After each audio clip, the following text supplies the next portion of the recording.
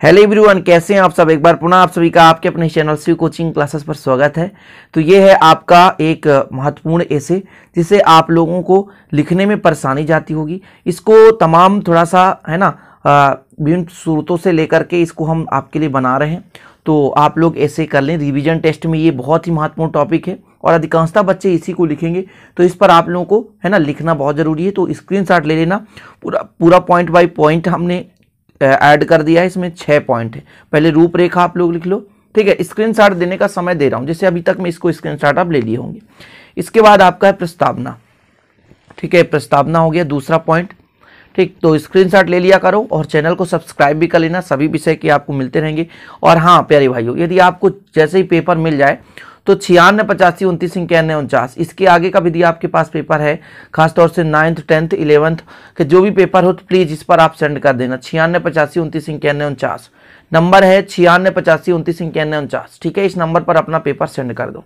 ठीक है तो अभी तो हिंदी का हो चुका है। इसके आगे का पेपर जैसे हिंदी का नाइन्थ इलेवन ट्वेल्थ जो भी छोटे भाई बहन हो। तो चलिए, फटाफट आपको स्क्रीन लेने का समय दे रहा हूँ।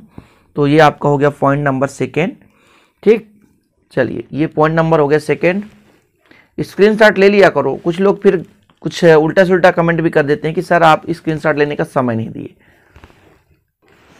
तो सेकंड का ही यहाँ पे बचा हुआ कुछ भाग था, इसको आप देखें। इसके बाद आपका कुछ ये स्लोगन्स है है ना?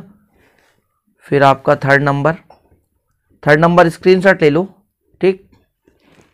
जितने भी पूरे छः पॉइंट आपको विधिवत लिखाया गया है और बहुत ही इस पर थोड़ा सा मेहनत लगाया गया है। बहुत सारे लोग कमेंट था कि सर प्लीज़ शीघ्र करिए। तो आप लोगों के लिए इम्पोर्टेंट है। तो ये स्क्रीनशॉट ले लिए, इसका भी चलिए। समय देते हैं जी, दस सेकेंड है भाई। दस सेकेंड में आप आसानी से स्क्रीनशॉट ले सकते हैं। दस सेकेंड में आसानी से स्क्रीनशॉट ले सकते हैं। वीडियो को रोक लें पुश कर लें और उसके बाद उसको लिखें। तो ये है फिफ्थ पॉइंट ठीक है फिफ्थ पॉइंट देख सकते हैं आप।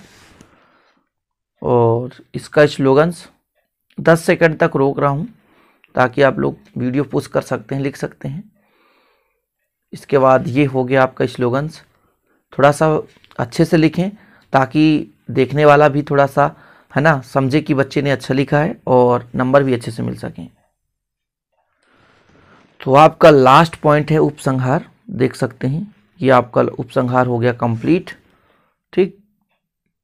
ये लो भैया, और इसका आप लोग ये कर लो, ठीक है? तो इस प्रकार से आशा और उम्मीद है कि वीडियो पसंद आई होगी। पसंद आए तो लाइक कर देना और चैनल को सब्सक्राइब भी कर लेना। इसी प्रकार के नए वीडियो को नोटिफिकेशन पाने के लिए। मिलते हैं स्टूडेंट अगले वीडियो में। तब तक के लिए जय हिंद। बंदे मातरम।